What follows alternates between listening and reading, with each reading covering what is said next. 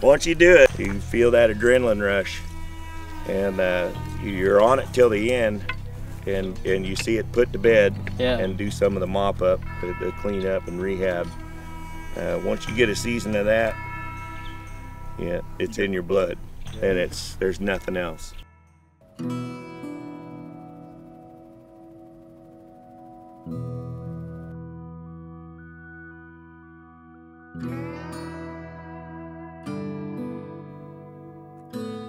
While the rest of the country is flipping its lid over cybercrime, illegal aliens, and mutagenic fuel gases, the Pacific Northwest still spends its summers struggling with mankind's first and oldest enemy fire. In the last decade, hundreds of thousands of forest fires have scorched 5.5 million acres of American land. The average Oregon summer sees 561 wildfires damage 16,000 acres of often pristine forest, causing mind boggling damage and devastation. Last month, we traveled to Medford, Oregon to team up with a firefighting crew from Grayback Forestry. Their job is to amble right up to a roaring blaze and dig a line around it to choke the fire to death. When there isn't a fire going, they cut back and relax by walking up the side of a 45 degree cliff and clearing out old underbrush which provides fuel for these fires. They are easily the hardest working people in tree business.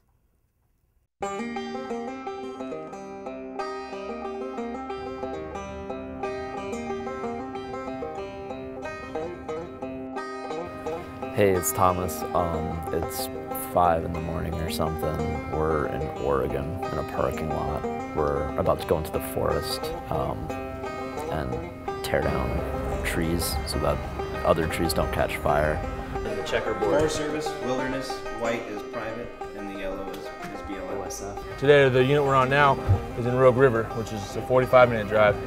It, uh, it changes every, every different unit. So usually every week or every other week thing, I gotta grab oil and stuff for the chainsaws. Yeah. So,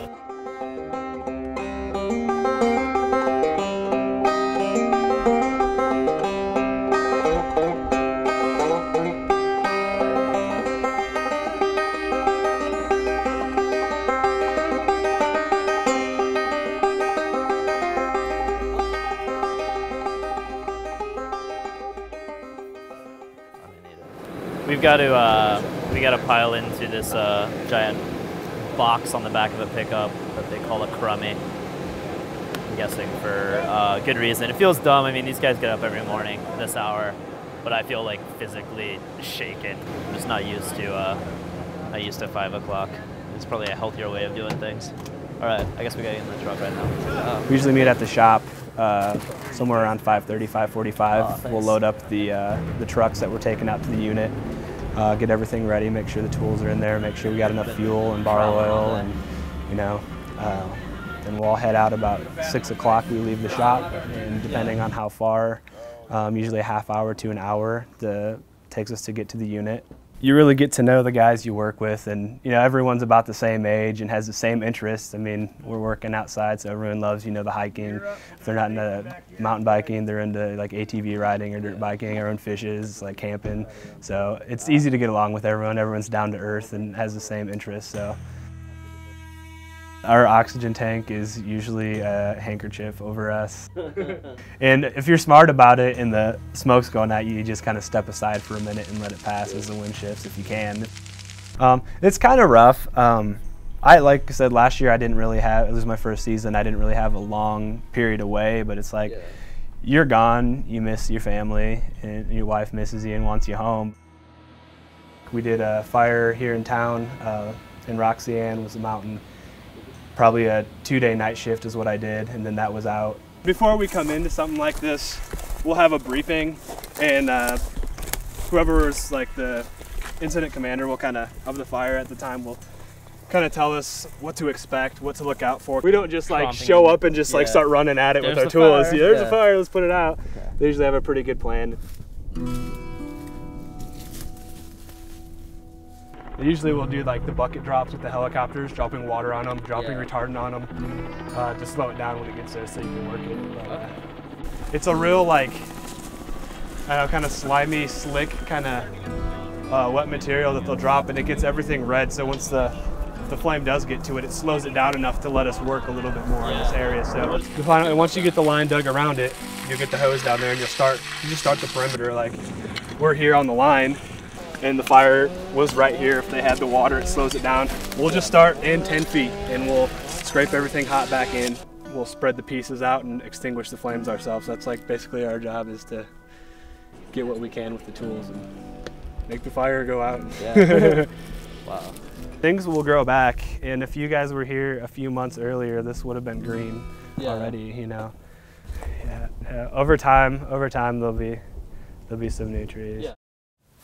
Know if you're allergic or not. Okay, there's an epi kit on the dash of my truck with the hazmat. So if you get stung, let me know and I'll let you jack yourself up. So we basically just walked to the job site and we're all already beat. Um, this is a lot more vertical than I'm used to things being this early. Our camera guy pukes. Um, I'm actually kind of jealous of him because I've still got the full night's pizza sitting on my stomach. Um, the tree dust is playing hell with my sinuses.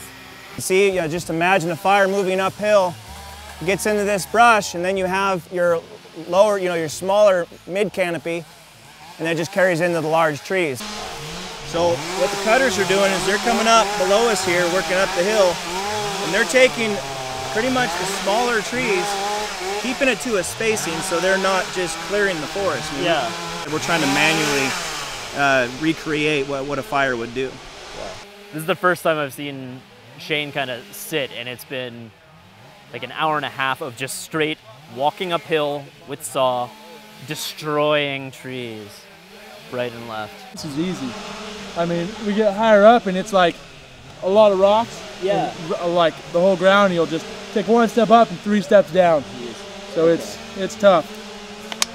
I am uh, carrying my body weight in uh, forestry supplies, going down a 50 degree incline to uh, chop down some shrubs so forest fire doesn't destroy this. That happens a lot, even with us, dude. What's that? Slowly, uh, slowly getting less enamored of this job. Thank you. Thanks for carrying it out, dude. I really feel kind of worthless compared to these guys, but like I know if I uh, if I had like a chainsaw in hand, I'd just be like getting caught in trees right and left, having the blade just suck down into everything I touch. I'm gonna leave this for the uh, the real guy. Well, I've been doing this for roughly three years. Um, I started uh, back in 07, um, just moved up here. I had been teaching for a little while outside of Reno and um, one day I realized that, you know, I wasn't there for the kids. I was there for a paycheck. Yeah. And I always told myself that if I found myself teaching in that kind of situation, that I have no business being there. I'd always wanted to get involved with firefighting, so came on out, thought I'd give it a shot. I do enjoy fighting fire, and I, I love being in, in doing that part of the job.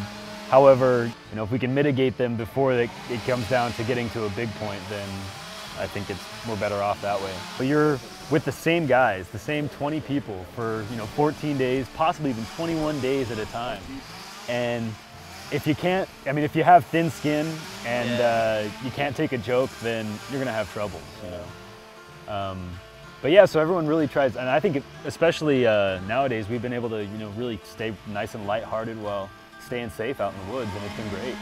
You know, and, and I'm loving it right now. Um, you know, it's, uh, it's cheaper than a gym membership. So. Yeah.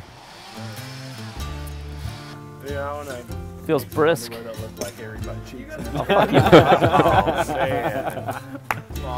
least, uh, at least I chose today to wear probably the gayest underwear I own. Here's your belt strap. Okay. Now you want it to ride low. Yeah? Yep. Uh, okay. Um, I'm currently dressed like a frosted mini wheats version of a forest firefighter, and uh, we're gonna go uh, dig some line. There's not a fire right now, but it is good practice. Line is basically a ditch that you surround the fire with, and then it can't get over that. You're not trying to do the whole line by Okay. yourself. Yeah. You're gonna come along and do this, and then just a, a swipe. It's, it's pretty much like this. Move a little bit, like that. Move a little bit, like that. Cutters are the first one in cutting the line, and uh, then the swampers come and they clear everything out, and then the diggers come behind them and, and uh, do a fire line.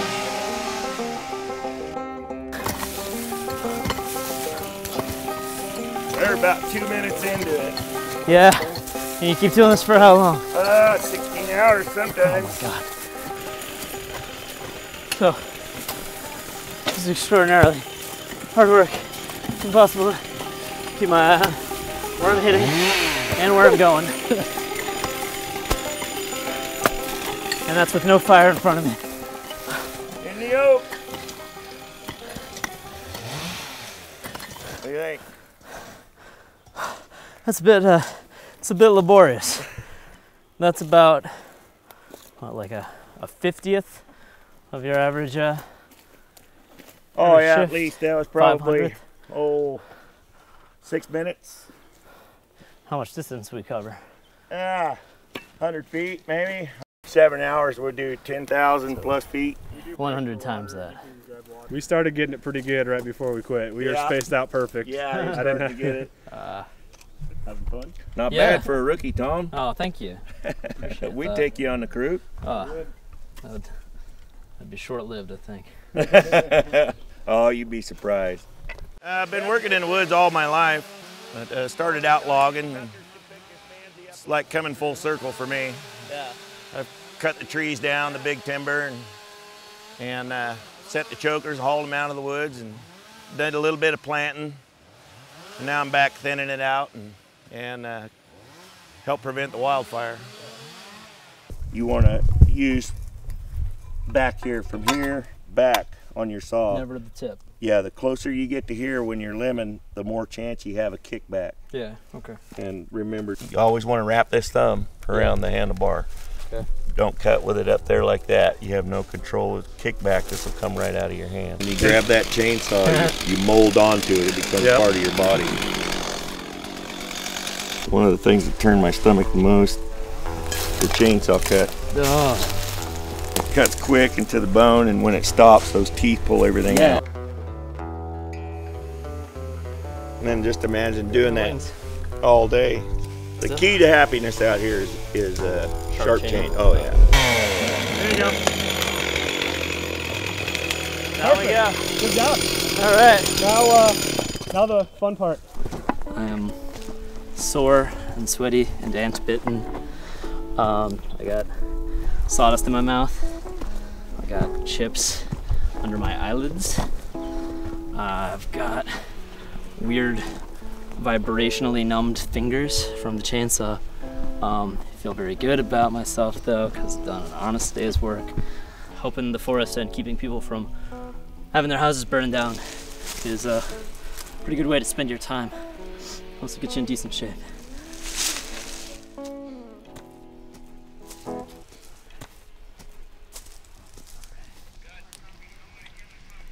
Firefighters around the world are universally acclaimed and considered heroes. Uh, forest firefighters, though, are kind of in a league to themselves.